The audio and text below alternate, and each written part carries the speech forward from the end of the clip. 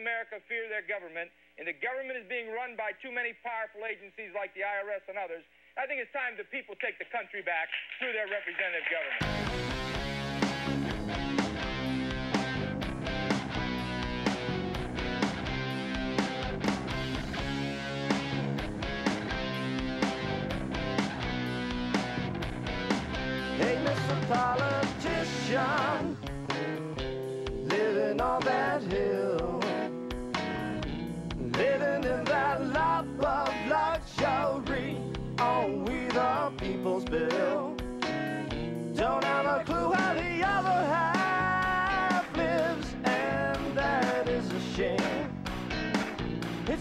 Stop the tyranny. You keep pushing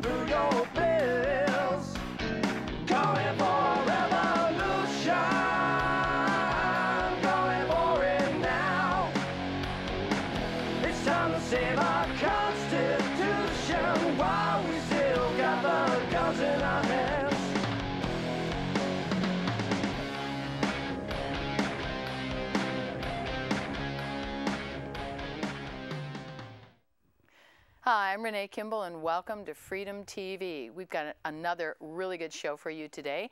And I didn't tell you what it was last week because I wanted it to be a surprise because it's bee time. We're going to be talking all about honeybees, and this is going to be the be all and end all. Pun intended. Oh gosh, that was terrible. But before we get into that, we're going to have a few of our normal little segments. We're going to do Sovereign Soapbox.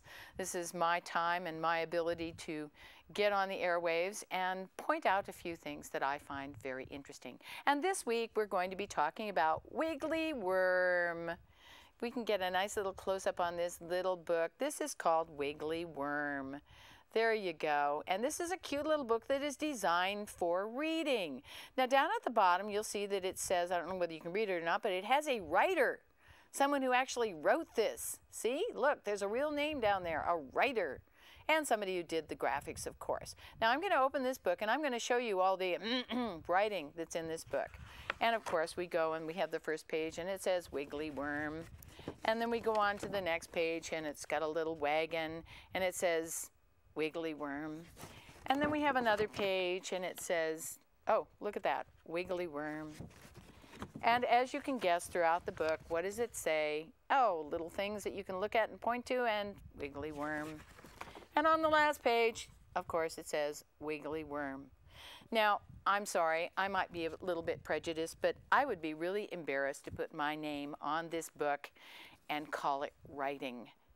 So if you're going to write a book for people to read, could you have a little bit of writing in the book? So that's Sovereign Soapbox. And we're going to go now to Surviving and Thriving, which is a regular segment that we have about surviving in the wilderness. This one's on first aid, and we're going to talk about heart attack and hyperthermia, getting cold. So this is Surviving and Thriving with hypothermia.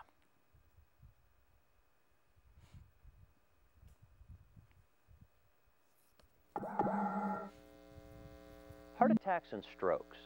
This is when the cardiovascular system has developed a blood clot somewhere within the body. This is a life-threatening situation, and the individual needs to be evacuated immediately.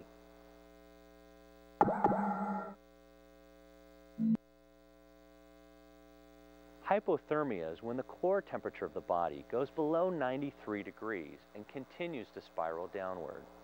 Look out for the danger zone as the core goes below 90. As the body temperature drops, it starts into a hypothermia mode.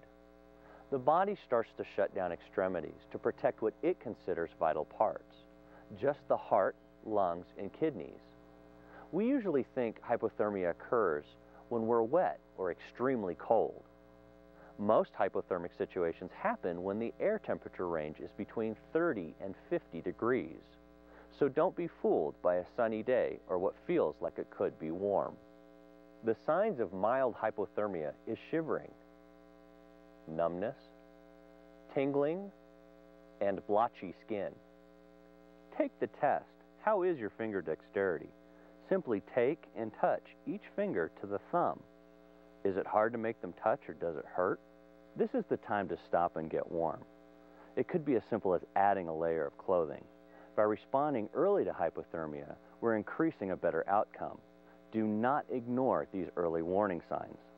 If the companion you're traveling with is showing signs, take the blame and stop. Everyone in the group is in the same climate. We all could be at the first stage of hypothermia to a degree. Take heed and take a break for warming. The fine line called moderate hypothermia. We become a drunken person, unable to walk a straight line, irritable, and touching our fingers to the thumb could be impossible. If you don't stop here, you could be asking for the death penalty. This is still treatable with more clothing. Exposure suit, building a fire, covering with a blanket, or crawling into a sleeping bag with someone who is not hypothermic. A word of caution. Again, everyone in the group has been exposed to the same climate. Hypothermic person getting into a sleeping bag with another hypothermic person could make it worse. The two individuals will draw heat from each other that just isn't there. Here are your signs. Decreased coordination. Your core temperature is below 92 degrees. Your muscles are rigid. Breathing is slower. Irregular or slower pulse. Walking like a drunken person. Once your core temperature hits 90 degrees, the heart rate decreases by 50%, making this even harder to move. At this point, the body is going to sleep. As your core continues its downward spiral, the pupils become fixed, absent of reflexes, and cardiac arrest and death usually occurs below 77 degrees. Evacuation is a must. Treatment of hypothermia. Get out of the environment that's causing you to be cold. Eat some food and drink a little bit of water. Digestion actually creates heat as it works. Make a fire or place a blanket around the individual or put them in an exposure bag. This is warming your exterior. Get a sleeping bag, um, as close to a zero degree bag as we can, and go ahead and cover them or actually get them in it and zip it up. And that will also help to increase the body temperature much faster. The first line of defense is this combination of warming your body from the inside with food or drink and warming your body from the outside with a blanket or fire. The last line of defense is getting into a sleeping bag with a non-hypothermic person. I repeat, a person who is not hypothermic.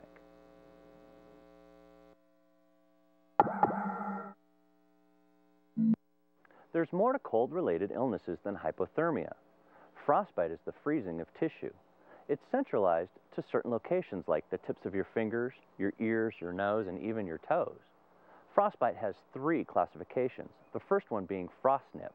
Remember Jack Frost nipping at your nose? Well, that's actually the outer layer of skin freezing. However, that tissue is always regenerating. What signs to look for with frost nip is the location is cold, numb, and pale. Treatment is simple. Rewarm the area with another part of the body. For your ears or nose, put a dry hand on it. If it's your fingertips, put it under your armpit and rewarm it there. The second classification for frostbite is partial thickness. This is where freezing has penetrated the muscle but not yet reached the bone. Signs for this are more intense in numbness. The skin is softer, colder, more pale, and can have fluid-filled or blood-filled blisters. The third classification for frostbite is full thickness. This is where the freezing has penetrated clear to the bone. Signs of full thickness is being completely numb, cold, white, and rock hard. For both partial and full thickness frostbite, you must seek professional medical attention immediately. If you're treating frostnip with water, it must be at room temperature. Word of caution, never rub with snow or use an external heat source to rewarm frostbite. This action will cause the skin to break away from the body and fall off. Anytime that you're treating for cold-related illnesses, be sure to watch for signs of shock. Hi, welcome back to Freedom TV. And today I'm here with Brian Lacey, and we're going to be talking about live honeybees, my favorite subject. They're one of my favorite things, I'm actually. so glad to know that. Honeybees are just so cool. And They I'm are. a big fan of honey. Don't tell them that, but I really like honey a I lot. I don't think they'd mind too they much. don't they you don't think they'd mind? Well, cool. no more than anybody else. Yeah, that's true. Going in there and stealing their food and their kids. Mm, oh well. We don't really steal their children. Yeah, well. But we can get into that. Yeah. Now, I wanted to ask you, what on earth ever prompted you to get into something like honeybees and beekeeping? Well, I um, from the age of 10 until 18, I lived in a little town called Talent, which is between Ashland and Medford. If anybody knows where the Rogue Valley Mm. Yeah. is, it's the last valley on Highway 5 before you come to the Siskiyous and hence over to Right. California if you're heading south. So it's uh, near the California border, but it's still in Oregon. and when I was the age of 14, I applied to go to this nifty little alternative school. This would have been the mid 70s. This would have been 73 to be exact. and um, so I went to this school. I applied and went to this itty bitty school in Gold Hill, which is between Medford and Grants Pass. So just a little bit north of the valley, the Rogue Valley where I was Right. living. And um, I went to this school. It was on a farm. There was a barn and. Uh, Really? yeah, hmm, That's a- really alternative back very then. no, and there was a there was a cow and a couple of horses and 300 acres, and I did a bunch of great stuff educationally there. In addition to meeting um, one of the sons of the folks who ran this, there were only eight students there. It was a Quaker thing. Uh, so we were basically in an old farmhouse with Og and Marge Kellogg, and one of their sons was Tom, and Tom was probably 19 or 20 at the time and he was interested in bees, and I was sort of interested in bees already, and uh, so between us, we just sort of inspired each other to find out a little bit about it, and then we caught some swarms that spring. We put together our own, um, you know, boxes um, using a table saw, and and Really from scratch. very much from scratch. Absolutely, it was it was definitely a back to the woods sort of experience. Right.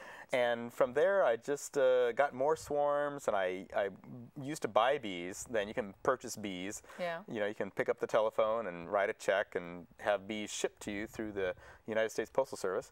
Um, and That's that's kind of unique. it is unique. There's been some interesting laws passed to kind of make sure that that all happens smoothly. But um, anyway, so I just took it on as a really strong hobby, and in a couple of years, I purchased an extractor, which is the thing that separates Right. the honey from the wax combs that the bees place it in. And uh, I did it almost all the time. I went back to the Midwest to go to college, and I gave all my equipment away to a kid who was probably 16 or so. I said, have fun with it. And then I went back to Michigan and went to school and came back and got interested again and started again. I just Right, so made this has equipment. just been sort of a lifelong thing. It has you been. Yep. got into it and Yep. kept on going. Absolutely. That's really interesting that Right. You would get in so young and really not even be an apprenticeship to anybody, Not at all. just learn by doing. Pretty and much. this is pretty much how people throughout history have learned how to do bees, probably. Well, it depends. I, uh, I, historically, there's been uh, a lot of um, uh, father to son and probably some unwritten mother to daughter Right. uh, lore passed down on how to do it. I mean, there were because human beings were in resp- in Europe uh, were so dependent on bees for sweetener. Right. And for candle wax, which was incredibly superior to animal fat or vegetable fat, which were the only other alternatives for light after dark. Right. So, um, so beekeeping really- has for a long time been a very. I mean, the Egyptians, three thousand years before Right. Christ, um, used to invest a lot of time, and there was a lot of mythology around it. So Mm. there, I would, I would say probably there was more. There was as much. Uh, conversation between older generations and younger generations about how to be a successful beekeeper Mm-hmm. in beekeeping as there was in anything else, growing wheat or corn or Right, rice or because it was so cattle. incredibly important. Very, Well, yeah. we, we've got some uh, pictures that you sent to me that Yes. I'd like to share with everybody. Wonderful. So if we can bring those up, with, and some of them actually have to do with some of the history. They do indeed. So uh, if you can bring those up on the screen, here we have the the Egyptian one on the right that you were talking Right. about. So there, uh, on the right of the screen, uh, is a is a it's an ancient papyrus, uh, multicolored still, uh, painting of harvesting honey, and then on the left is a that's a large carving. That's like a that's like a six foot tall carving. Really? Mm-hmm. And that's in Lithuania. Uh, there's a fascinating Lithuanian museum, and that's one of the hives in the. So it's just a sculpted hive. a sculpted hive. It That's is. great. It is Excellent. indeed. This is uh, some more. This is, Very this is it is. So you can see that, uh, and see that little notch at the bottom, sort of in the belly of Yeah. that uh, king or pope or whoever he is, with the little, um, little um, um, little Bo Peep hoop that he's got. Uh, but you can see how intricate this carving is. So it's, it's just another example Right, of something exactly. Something around artistic. a- And this, I think, was a medieval drawing. Yeah, this is actually a little bit post-medieval, but not too much. This is uh, like you know uh, the mid 1400s. But this is around this time, uh, beekeepers learned enough uh, about how uh, bees tend to put their uh, extra honey above where the queen is laying eggs. Oh. So uh, what they did, you can see there's a glass jar, and uh, that woven thing is traditionally called a skep, S-K-E-P. And uh, there's the door at the bottom that the bees would go in and out of. but uh, what the beekeepers figured out was that if they were to like place a little um, uh, lid, put a hole in that lid, and then, as you can see, put the glass jar on top of that. Then, when the bees have filled up the below area, they'll go up above, and the odds of a queen going up there, the queen going up there and laying uh, baby bees, is really low. But the odds of just getting honey was really high. So they would, so Ah. they'd go up there and they would let they would you know open they'd lift up just as you can see in the demo they'd lift that uh, upper skep off and they'd see how filled it was because at first first they got to build the comb yeah. and then the bees have got to fly hither and thither bring the nectar back and then they've got to fan the extra water out of the nectar to thicken it up Right. Uh, to make it honey. And then finally, when it's cured and thick enough, then the bees uh, will they will uh, put a little layer. They'll put a cap on each one of those right. Six-sided and we've cells. actually got uh, some We do. examples of those. and then they'll take that glass off. They'll harvest it and they'll put on another piece of glass. And there you go, and, it you're all again. done. And this is some artwork that uh, shows the importance of bees. They were actually engraved and gilded on a house. Indeed. It's yes. beautiful. This is this is again this is one this is again at this Lithuanian museum, and uh, it is just in honor of the sun and the bees, and because the sun and the bees are so connected. Right. And below, uh, slightly to the right, is uh, one of Bruegel's etchings. Bruegel, one of the a famous medieval um, uh, illustrator. And this uh, again is some more. And I think the Yeah, and here you have a split, uh, you know, uh, in terms of epochs. Lower right, you've got uh, a, a, a woman actually working in, underneath a shelter. They built a lot of shelters for the bees so they could get shade if they needed and keep them out of the rain a little bit, which improved their health. Uh, you also see a brown bear in the front, and uh, bears have, of course, traditionally been uh, one of the creatures that human beings have had to try and keep bees away from. And they've gone, they've gone so far. They, they uh, in Europe, they used to put uh, uh, hives in hollow logs, and so they would hoist hollow logs on ropes and chains Oh above the ground, so the bears couldn't get at them.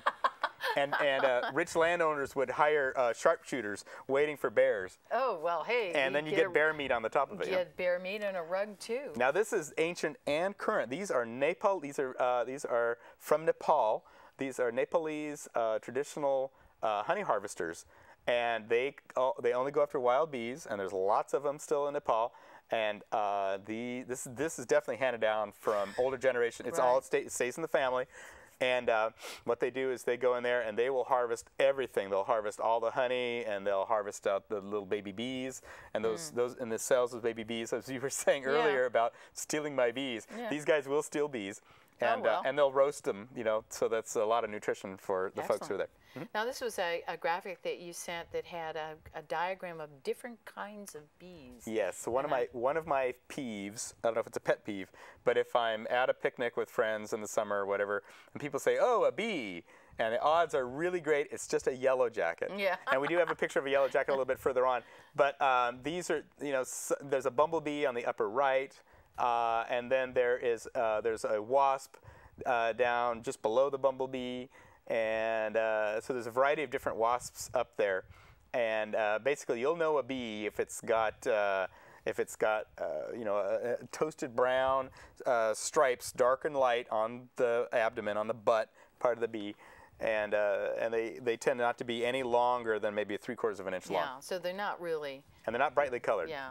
Now this is a picture of, of I couldn't tell whether these were are these all bees? These are all bees. These are the three castes of bees. I call them Oh, okay. castes. Uh, on the left-hand side, you've got worker bees, Mm-hmm. and that's 99% of the bees in a hive, typically. Right. In the middle, you've got the queen, As you can see, she's Right, she's uh, she's not yeah she's long. She's she's she's she's no wider than the worker. She's even narrower in some places Mm. than the worker. But her abdomen is really long. That's where all of the eggs are stored Mm. uh, in her body, and that's also the long the long abdomen lets her back into a cell and lay an egg at the bottom of that cell. Right, And then on the far right side is the boy, the drone. They have no stinger. Mm. They've got big bulbous eyes. They're really big and fuzzy. They do not go flower to flower. Mm. Their only purpose, well, they have a few purposes. They keep the warm, they keep the hive warm in the early spring. Mm. They mate with the queen.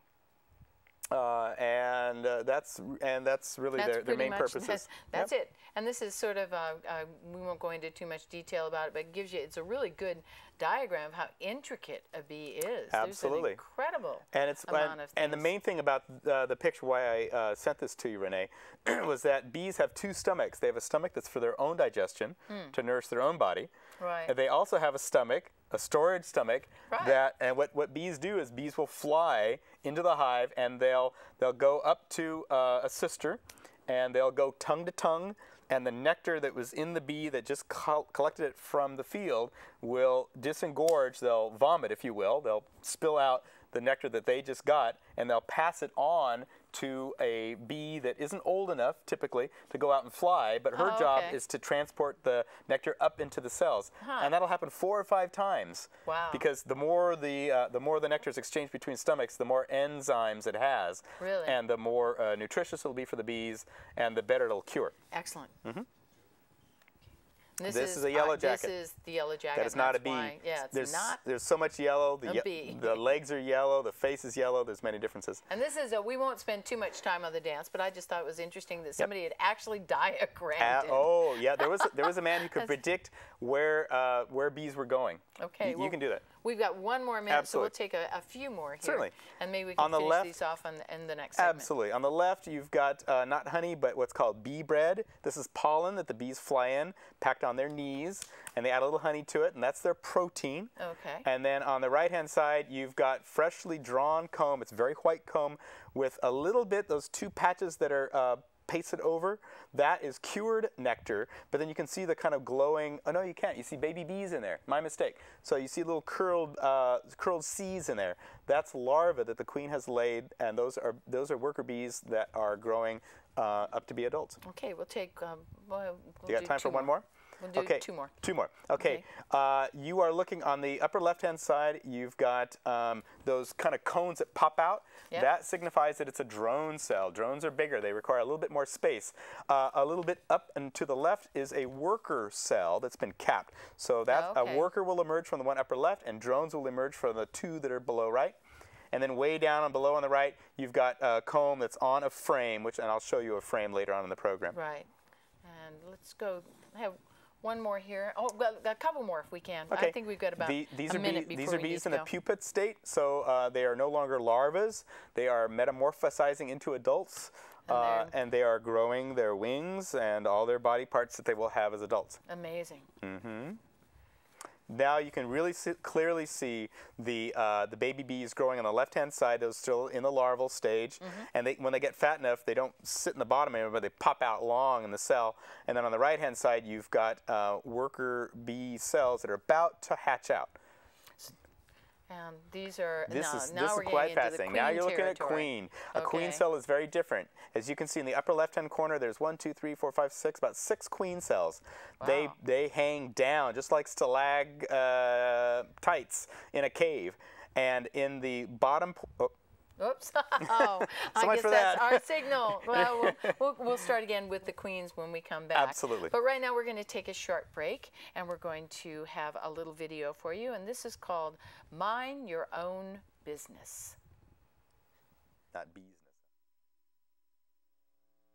A dangerous force is denying the dreams of the world's poorest people. There is a powerful group telling the world's poor how to work, how to live, and even how to think.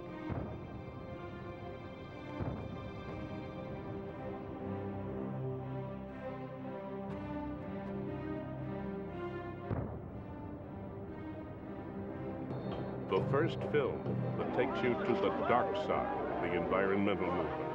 environmentalists really are against growth. They think that what people need is to keep in their traditional ways of life. They, they should be kept as happy peasants.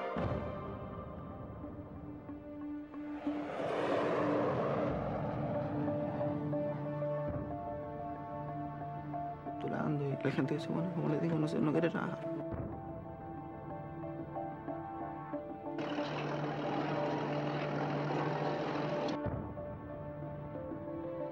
Powerful environmental groups have descended on impoverished villages. Around the world, small towns teeter on the verge of economic extinction. I know I've what I need. I have a need a job. Often a village's best hope is a new environmentally friendly mine that would bring jobs, development, and many of the basic human necessities that Westerners take for granted. But environmental lobbyists are campaigning to stop the mine. They claim it would destroy a town's charming way of life. It's part of the charm of Rosia Montana, and this lifestyle. The people who are against the, uh, the project, they are rich people. They are not here, like us. We have to eat. We have, we need jobs, and we have to work. A continent away, activists use the same arguments. I think the quaintness of Fort Dauphin, the, the, the small town feeling will certainly change. But people in Fort Dauphin are very poor. How do we perceive what is rich and what is poor? Who is rich and who is poor? I bought this for about $35,000, which was a good price. I mean, it came with everything. Western environmental lobbyists claim to represent the interests of the world's poorest people. Well, I don't think they care about the poor. They're the biggest enemies of the poor. What if everything you thought about the environmental movement was wrong? Then they don't like people.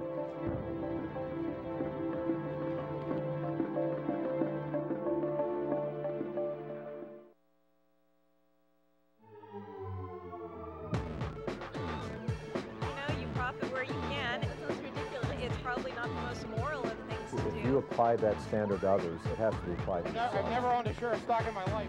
That's, that's shocking news to me. Uh, what is he thinking? I'm just shocked. I have no idea. That is a really big hypocritical action that he did.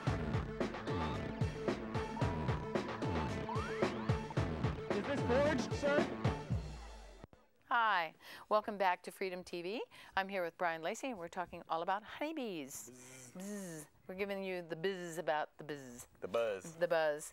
Now, one of the things I wanted to ask you, uh, we were talking earlier. I assumed that when you harvest the honey, you automatically harvest the baby bees. No. Is it is it like two different batches or something? Well, um, there are indigenous people who um, don't have access to much other sorts of protein. Right. And uh, they will relish um, getting. Yeah. I mean, in some respects, it's like, oh, look at the larva that we're getting too. Yeah. Just just as if some just as some Right. people eat grubs, you know, because it's very Right. nutritious and to them delicious, and maybe to us too if we try them. But uh, no, they're not. I've tried them. Trust me, they're not. I will- I will trust it's like raw egg. Well, that sounds dreadful. uh, but uh, here, uh, you know, in, in places of the world where that's not the typical diet, what is done is, and uh, we may have some slides later, but um, you, what you do is, uh, as I was saying earlier, uh, y- typically you've got uh, the queen working cells below uh, uh, and roaming around in different parts of the hive, laying eggs all the time. Right. boom, boom, boom, boom. Um, in the spring and the summer, and tailing off in the fall.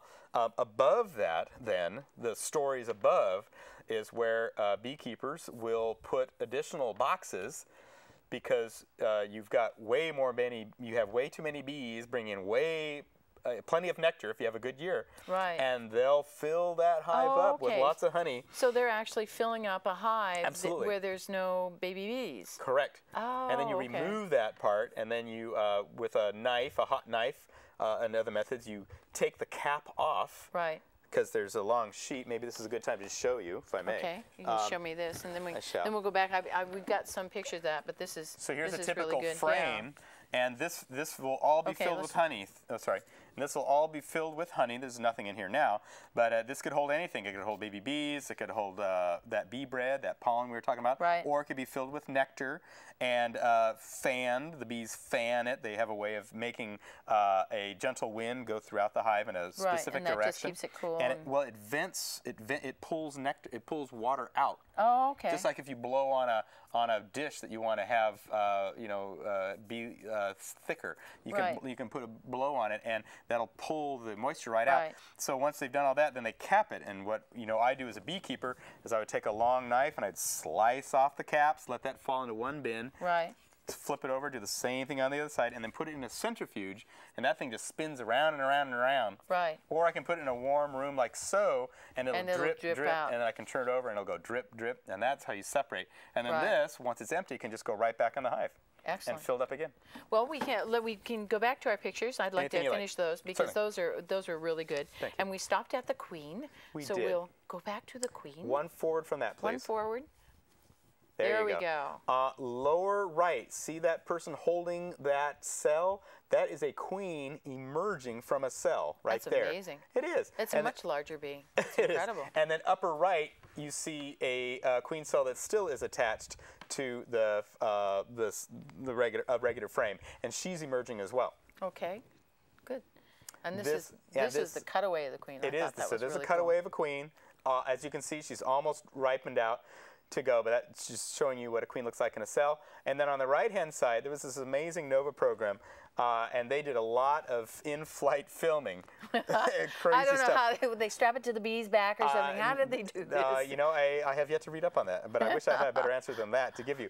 But as uh, what you're seeing there is you see a queen in front and a, and a drone behind her uh, about to mate with her. And a queen will mate with up to 20 drones. Really? Yes. Do they do this just once Uh, in they, their life? They've been known to do it more than once. Oh, okay, Uh-huh. so they can they can. I thought They can go it- on additional nuptial flights. and then produce more eggs. Yeah, and, and I don't, yeah, they could, indeed. Okay, and our next one is this is the Here's a picture of a queen. That the queen sort of just slightly right to center. She's about to walk up into the hive, and you can see her very long abdomen there. wow. hmm These, this is a picture of bees fanning. What they do is they grip with their six legs, uh, whatever surface they're on, and they can angle their wings so that if you were to if you were to hold a piece of tissue paper on one side of the hive, the tissue paper would would uh, would sweep in, and then as you uh, move your uh, tissue over to the left hand side, when you get to the middle point, it sort of flutters, and then as soon as you're slightly over to the right, it scoots out. So the bees So are, they could create the this bees are, they have a system. very specific air goes in on the left side, goes up, up, up, up, all the way through the hive, down, down, down, and then right out the right hand side. That's amazing. And they do, and they make that wind so that they can, as I was saying earlier, thicken the nectar that is harvested. That is a picture of a sting Yes. on a finger. Who was the brave person who did that? well, see, it's not stuck in them. Oh, So that stinger is that that's just there saying, "Hey, here's the stinger," but it's not stuck in them. That little thing that points out to the left, that's the stinger. If that were Right. in you, and there's a little there's a little uh, pouch with toxin in it, and there's a muscle that pumps. So what a person wants to do is, if you get stung, don't squeeze it off. Take a fingernail if you have fingernail or something that scratches, it's like a credit card or anything or keys, and scrape it off. Scrape it off. If off. you pinch it, all you're doing is you're Is squirting helping, all that helping it to get inside. and then and then suck on it and spit Yeah. and uh, put on baking soda or Baking salt, soda, something right. that's going to want to pull it out. right. Now this is the the infamous bee mite. Yes, this is one of the mites. This is a varroa mite. They are big enough to see, and they uh, that is they're attached to a uh, pupa there. There's a couple of them. I think you see like three of them in there. Wow. And this has been a real scourge for beekeepers for the last 12, 15 years. Right. And they don't really. Do they have any idea where these things came from? Well, uh, bees have lived with them for a long, long time. Really? The question, the reason why there's such a problem now, uh, there's a, there's, it's a, it's a perfect storm. You've got uh, many, many years of commercial beekeeping, which has meant uh, having uh, hundreds and sometimes thousands of hives uh, that are owned by somebody, and they're put on a big flatbed truck, and they go from the south, like Mexico or Southern California, they go all the way north up into Canada. So they don't really have any permanent home. And so they're dragging every possible problem Well- that you could think of. Well, part of it, them. they don't have a steady home. Yeah, we can go to the next slide. Um, Yeah, there's another little mite. On Yeah, there's a mite up on the upper left. Uh, but just briefly to describe to you the, the problems, uh, another one is that queens are typically artificially inseminated, and we'll have a slide on that later. Uh, and so the queen, the bees are given a queen that they didn't raise, that's not genetically related to them. Right. So there's a problem. Uh, bees are flying into toxic environments. Most fields are, you know, heavily polluted Right, with sprayed. something uh, with sprays.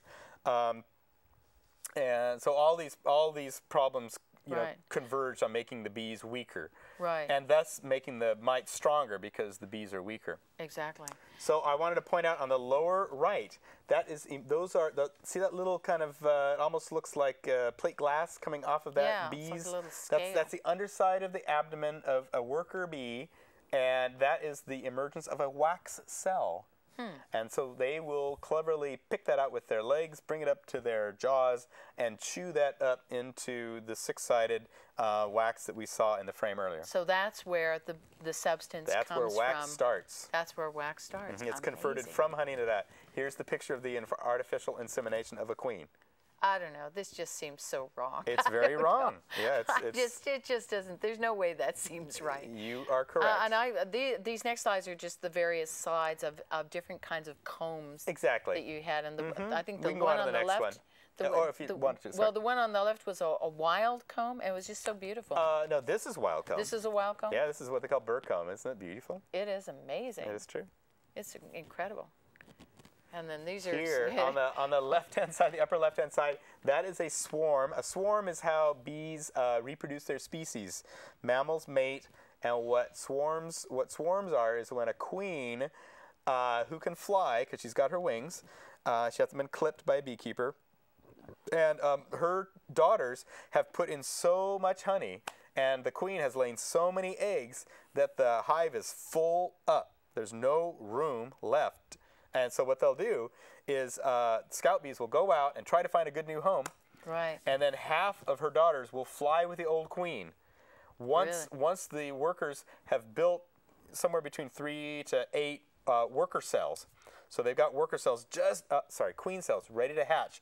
The replacement to the queen who's about to fly out. So half the flying bees leave with the queen, leaving uh, queen cells almost ready to hatch And so that and they'll the fly next somewhere, including in you know in a, in a wall gap like that. and uh, if they love where they stay, of course, what they'll do is they'll just build comb there. So that's wild Uh-oh. comb right there. Bad news. And this is the classic, of course. I Yes, had it is. I had to put this in here This because is the this is what you think of whenever you think of bees. Indeed. The bee boxes. Yeah, and here they are handling.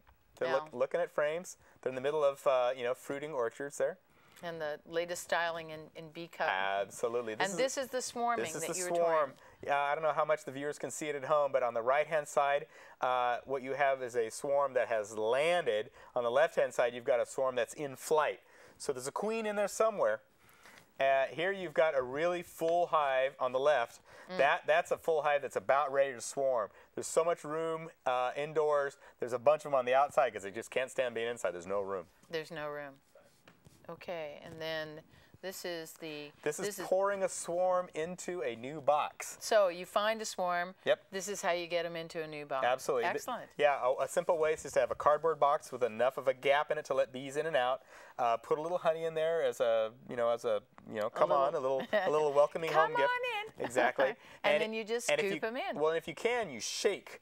Uh, you shake. Usually, a swarm is on something small. Ideally, it's on something like a little limb, and the beekeeper can put the box underneath that ball. So you have a few bees hanging onto a limb, and lots of bees hanging onto those bees. So you have a few bees hanging on a limb. You just shake that limb with a vigorous shake, and, And almost all, almost all the bees, and usually the queen, follows in that big initial clump. And then you close up the box mostly and let the rest of the bees follow in. And this is a diagram. Here's a diagram of what of a. Langstroth hive. This is a gentleman who designed uh, something, you know, more than 100 years ago, and they're still in use today. And uh, that's what I've got right here, right here at my pretty feet. much what. And this is how they Mhm. look on the inside with the the little It's true. combs that come out. And Yep. Yeah, they're, they're on little frames and they hang on hangers, just like hangers uh, on a business file, you know, in And an this office. is this is what you were talking about, cutting off exactly. the that, caps. that is a capping knife. and the uh, the person operating it is just slicing the caps off, trying to slice off as little as possible, and then he's gonna, or he or she is gonna put that frame in an extractor and spin that And out. I think that's what we've There's got. your extractor. There's the extractor. Yep. And then that takes and spins it all out. Yep, it's just a barrel with a with a screen inside that spins. And that's a, I think that's another picture. Just a different design of an different extractor. design, and then that's the filtering on the right. Uh, that yes, what, what you'll end up, you'll end up with lots of caps, uh, you know, and, and sometimes even little bee legs and dirt and stuff like that. bit- it happens, bits. little Yeah. bee bits. Little bee and so you just screen those out. You can use, you know, coarse Right. to finer screens and screen all that out. Ideally, you get, you know, raw honey, so it's not, you know, Right. heated at all. Good, You know, or it's just keep it at room temperature. And this is the two bees, the honeybee on the left, and then and the a bumblebee, on the right. And you'll notice on the left-hand side on that poppy, see that really big blob on the back leg of that Yeah. bee that's on that poppy? That's pollen. So what they'll do is their their their rear leg has is concave. It's like a little cup. And so what the what the bees, what the worker bees will do when they uh, when they gather uh, the pollen is they'll transfer it to that. It's just like a little saddlebag Hmm. on either leg. That's great. Mm-hmm. And then this is These the are swarms. that have landed on places that probably we wouldn't want. Like uh, Yeah. here we have a park bench. Yeah, I don't think that'd be a good place No, for a but swarm. but these are big swarms, especially the one on the right on, on that brown bench. Yeah. That's a big swarm. That's a beekeeper would be happy to get that. And here, as our last picture, Yes. is really a swarm. It- well, now, how yeah. on earth do they get people? Yeah, this- this well, what, how do they get people to do this? Renee, this and is how a they gimmick. get this to do get the bees to stay on the person? Well, it's a gimmick. Yeah. So uh, worker bees will smell their queen, and they want to be with their queen. Ah. So if a beekeeper uh, finds the queen, which we've seen the queen, she's not hard to find if you look assiduously. If you look hard, you'll find her. And uh, and if you pick up that queen off the frame which she's in, put her in a little cage with a couple of buddies, and close it up, and then you put that cage on your body somewhere, like your neck, your throat.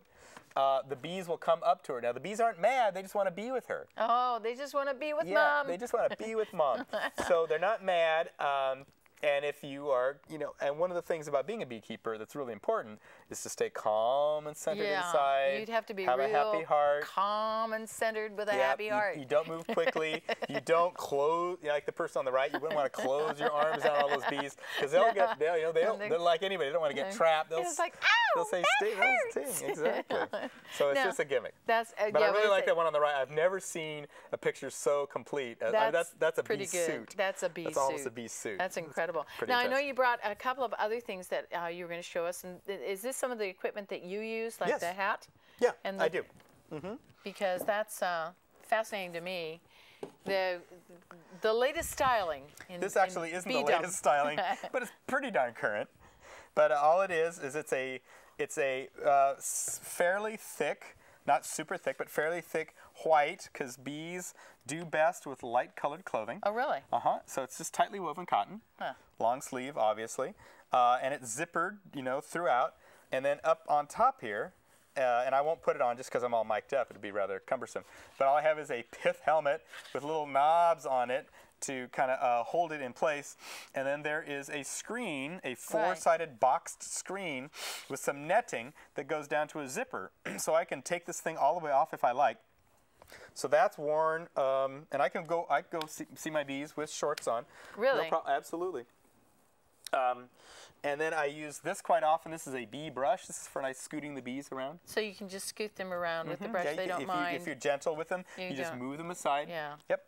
Um, als- something I also use, but I didn't bring, sadly. Sorry, viewers. But uh, it's a smoker, and it's Oh, and right, it's just yeah. a, and we saw a couple of pictures of Yeah. uh, smoker there. Yeah. But it's just a it's a it's like you just have a billows on one side, so you close it and open it, and it uh, blows uh, air into a metal canister with a little like uh, like the Tin Woodsman on uh, Wizard of Oz. Mhm. So it's just it just kind of comes to a funnel with a hole on it, and so when you blow those billows, uh, smoke comes out because you stuff it full of grass, and Right. you light it with a little match below, so you have dry grass that smokes.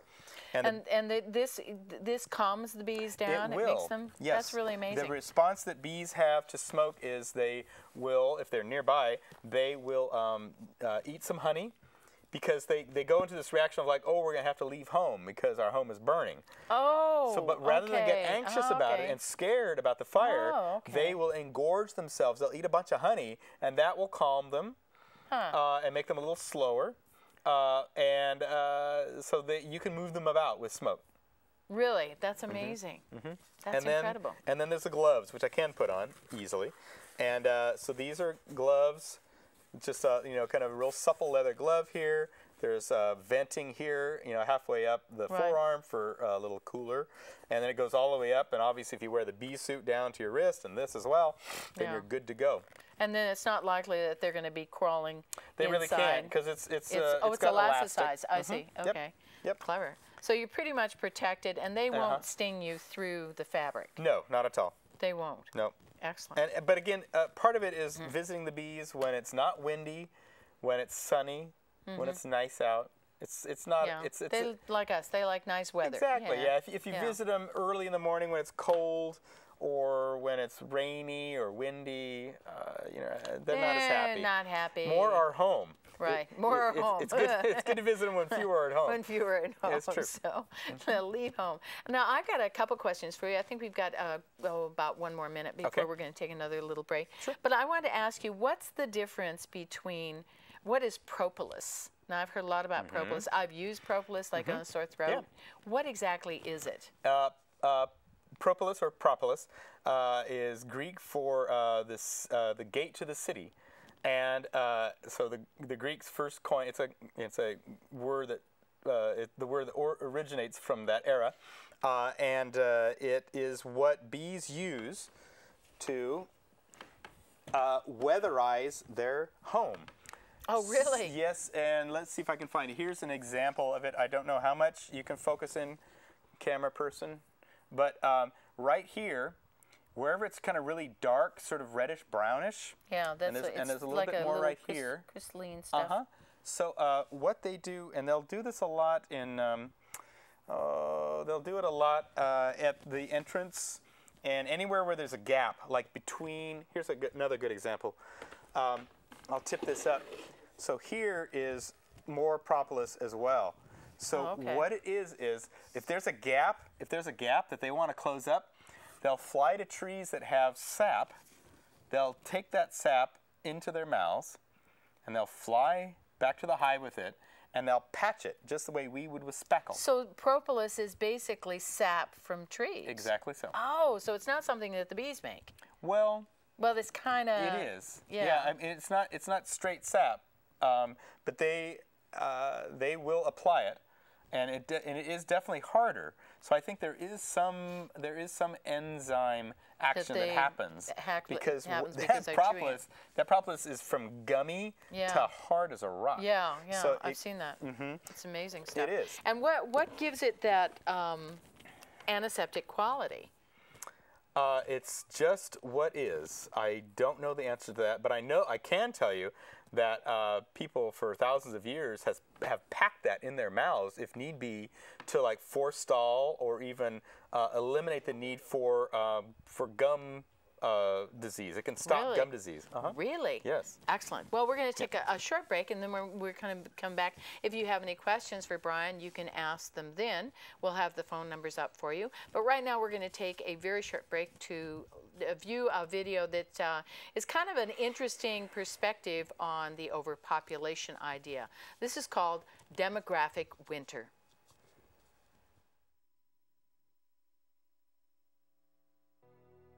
The Romans, in the time of Julius Caesar, were totally preoccupied by the fear that they were not producing enough children. The sterile uh, pagan nobility died out, and with them, their ancestors' idea of Rome. No one wanted to have any children, and no one wanted to get married.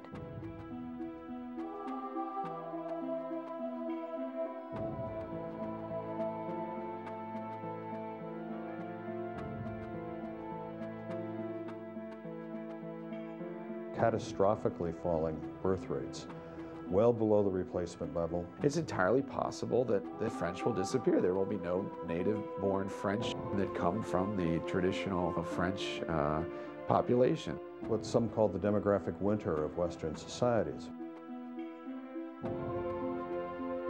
It's happening in rich countries, it's happening in poor countries, it's happening in Catholic countries, Islamic countries, and that is everywhere um, people are having fewer and fewer children.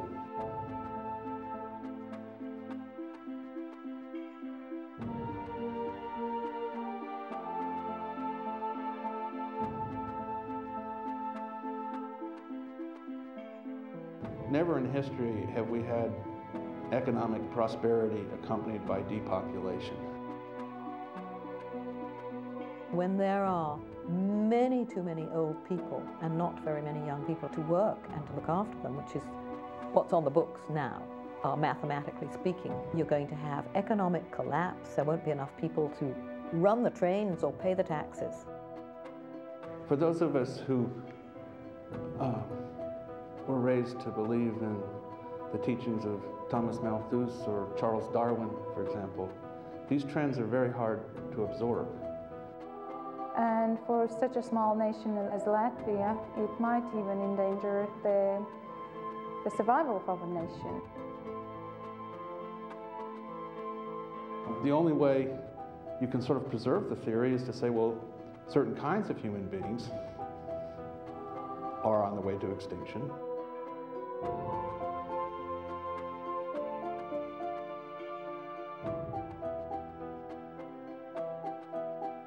Now we have 40 years of social science that makes it absolutely clear that the deterioration of marriage, the encouragement of sexuality outside of marriage is just not, it's not good for society, women, children, or men.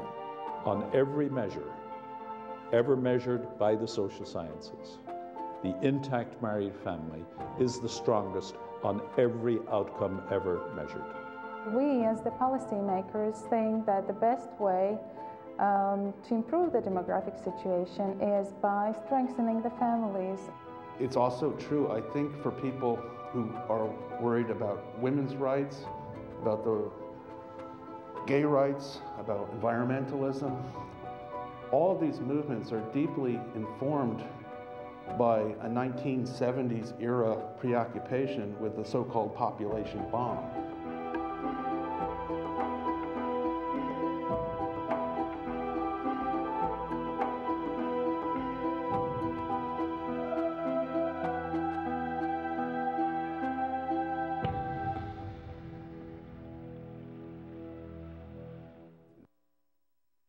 Welcome back, and we're here with Brian Lacey, and we're talking about honeybees.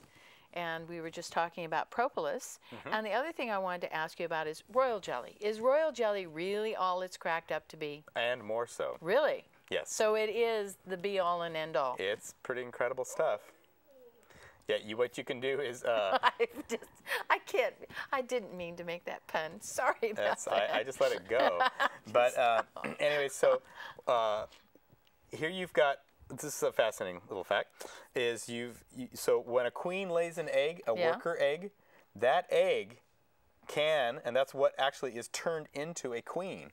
So a uh, an egg if it's given a couple of days of royal jelly and then for the uh, remaining couple of weeks of its uh, maturation to being a worker bee, if it's given just pollen and honey, Mhm. nectar, it will grow into a worker bee. If it's in a worker cell, six-sided cell, Right. if that little egg is stuck into a huge queen cell and fed nothing but royal jelly in two weeks' time, less time than it takes to cook uh, to make a worker bee, you got a queen hatching out. That's amazing. It's and I, extraordinary. and I think we do have a call. Do you have a call for Brian? A question for Brian? Yes, I was wondering, you were talking about the, the mite problem and that I've heard about uh, uh, for quite a while, and it, has that improved any? And then, then, then the other question is that there was also, in addition to that, there was these hives that would just, the bees would just disappear. Uh, well, they're connected. So, um, if you might remember earlier in the program, uh, we were talking a little bit about sort of a perfect storm of issues that have been uh, bombarding bees. And because of this uh, artificial insemination, flying into polluted areas, even cell phones, you know, sort of the radio waves have seemed to be a bit of a problem. Uh, they're they're suggested that that might be a problem, and uh, and then trucking the bees everywhere. instead of letting them having a home. Um, all those issues made the mites a little bit stronger than the bees. And so, unfortunately, the allopathic, the wrong direction way to go, uh, that was chosen by sort of the corporate model of beekeeping was for Bayer and a couple of other companies to come up with miticides. Oh no. Yes. and unfortunately, Okay, it's like you and like you and me going in for pancreatic cancer. You know, we them bombard the pancreas, really weaken the patient, but get rid of the cancer. Similarly, these miticides really weaken the bees. They do get rid of a bunch of the mites. Of course, they also make super mites for the ones that survive. And so, uh, So- and so this has been going on for now about 10, some 15 years. And uh, super mites are kind of on the ascendance, and more and more beekeepers are realizing that they have to use, they have to strengthen the bees rather than try and hold down the mites. Hold down the mites, right? And I think we've got another call. Do you have a question for Brian? Yes, um, I'm wondering uh, what size property does one need to start keeping their own bees? Is this something that most people can do, like backyard chickens, or not? Thanks. Well, you're welcome. It's a little bit more complicated. Uh, the City of Portland Vector Control uh, have they have some statutes about this. I'm going to assume you're in the City of Portland, uh, and it's uh, 100, 150 feet all around. So you have to uh, legally you need to talk with neighbors that are within that radius of your hive. Um, what I've done in the past is I have found uh, friends in the city of Portland that have larger lots that can help. Uh, or befriend yourself to some of the CSAs, the community supported agriculture people, people that are in the area. Uh, it, you may find a really uh, friendly ear with them as far as being able to stage your bees there. Um, also, giving your honey away to people that uh, you know, you could say, "Hey, I want to do bees. I want to give you some of my honey." I want to give you some of my honey. Bribery is always good. It's encouraged. it's encouraged.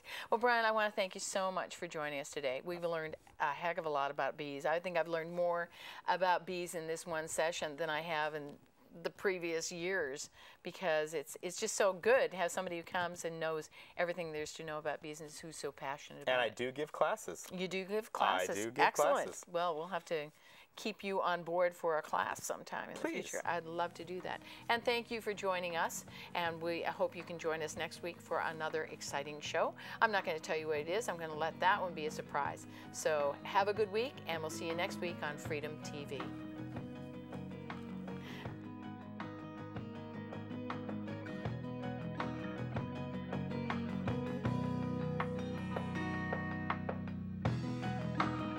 Cry for my country,